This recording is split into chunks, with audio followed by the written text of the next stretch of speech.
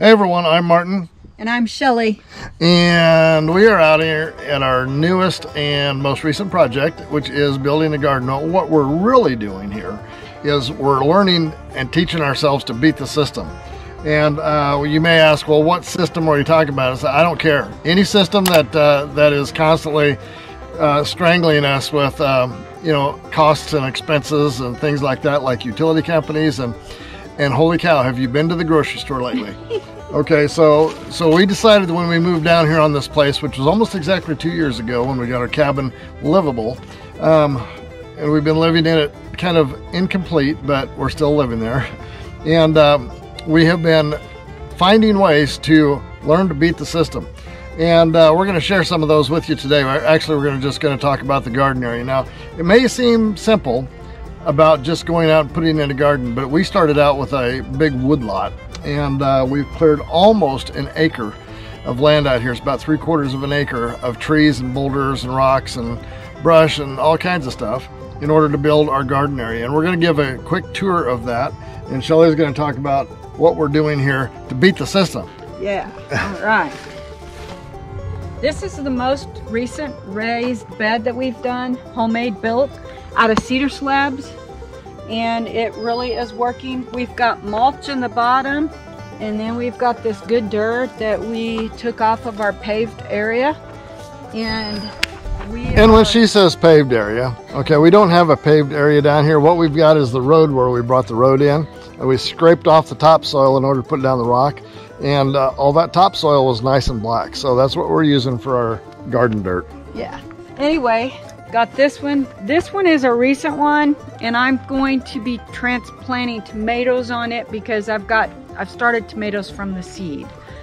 Um all right. so what do we got next? What do we got next is we've got cauliflower. It's not coming up because i just planted it. And we've got um, arugula some more carrots and some peppers and... And how many of these do we have? Onions, huh? How many of these do we have? I think we have 12. We've got 10, 10.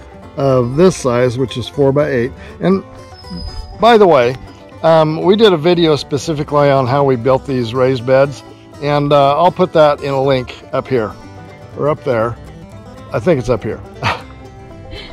anyway, this is going to get us food so we don't have to pay the grocery bill. I don't know, every time I turned around, I had to go buy lettuce and everything else. So I really am wanting to make my own food. And here we've got our cucumbers. We've got pickling cucumbers and just munching cucumbers. And already they're starting to come up. We're, and we're pretty early in our season. Um, we're in southwest Missouri, whatever zone that is, I'm not sure. Got more green beans coming and some onions perimeter. All right, let's go up and look at this one up here. All right. Show me because this was up here. The oh yeah, what was this? These are green beans. I've been planting them at different segments so that we would have groceries all the time. Okay, and this one is the very first one we yeah. planted.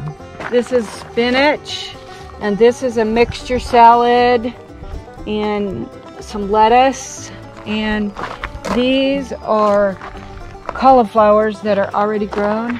And of course, these are onions. And I've got my carrots coming up really good. Let's look at these up here. All right. And you know, I like basil, so I've got basil growing, and that's flowers. this one was going to be designated to sweet potatoes, but because I didn't get it ready in time, we're going to make this into cantaloupe, but we'll get that going. And right over here, we definitely got zucchini just growing. They're going to town. We're gonna beat the system with zucchini. And I told Martin that I wanted a designated area for my vines to spread out because these are gonna spread out. And these, this is our butternut squash. And so these, I, I see one popping right here. Yep. There's one popping up. So also, we've got it intact, so deer cannot come in. Hopefully they won't jump this fence. yeah, we'll see about that. Yeah. we hope not. Yeah. Anyway, uh, And it's a garden, so I guess Yeah. we gotta have flowers. We gotta have flowers. I've gotta have some fun with that. So here's my tomatoes. I didn't get our greenhouse done in time, so I planted them in seeds. So they're kind of close together. So I will be spreading them around and putting them in that other bed there. So, So, and so when we're talking about beating the system, we have pretty much got the, um, I mean, the garden is the one that we're working on right now. Uh, last year, well, actually, the first uh, winter that we were here, uh, we got the heat thing taken care of. We've got a big firewood production deal going on down here. And so far, we've just cut dead and dying trees off the place and haven't even made a dent in it. But we've got enough firewood right now, I think, for three years. And we're also beating the system when it comes to water. This is going to be a rainwater catchment system. That's going to catch water off of the roof of the container. And we know we've got a spring down here too. I'm not sure if we're going to try to hack into that and pull spring water or not, but uh, but it is there. And just swing around here a little bit. This area that we've got kind of cleared out is where uh, this is gonna be the greenhouse.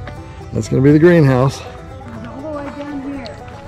and we've got uh, we've tackled the electrical grid and right now we've got it dismantled because we're putting fence across here but this area right down here is where all of our solar panels are going to go back up and uh, they'll be facing uphill again to the to the south Yep.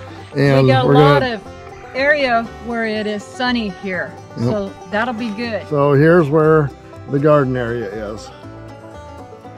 The three beds up in the corner, the smaller ones, those are four by four, and then the four by eight beds that are down here. And, you know, you may look at this and think, well, I don't have an acre, certainly not an acre to dedicate to your garden. But, you know, there's a lot of different ways you can do gardening. I mean, you can do hydroponics, um, you can do, which we're going to plan on doing some of that in the greenhouse.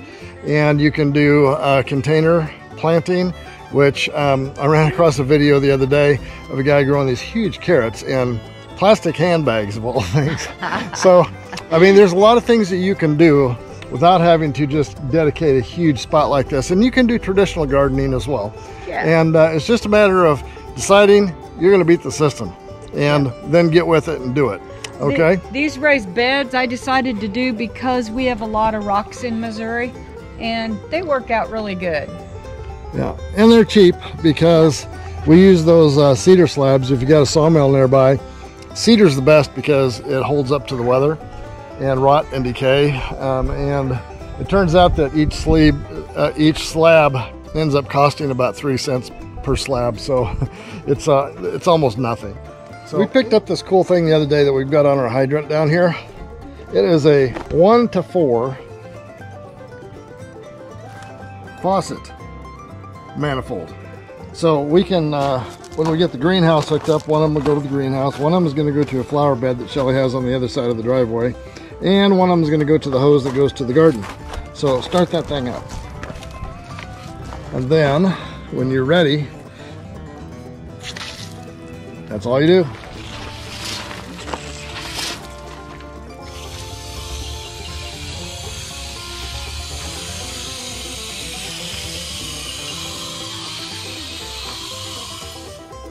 I'll see if I can find a link where you can get one of these. Maybe this That too. is so cool. And that This thing is really good. It's got shower, mist, soaker, cone, full, flat, center, jet. Okay, whole bunch of different settings on that one. Yep. Yeah, look down in the description below and uh, for links for those things. So anyway, that's it. All right. We're learning to beat the system, and we're gonna do a we're gonna do a um, probably a playlist on that because there's a lot of ways that you can kind of uh, take control of your destiny as far as the costs that it just costs to live these days.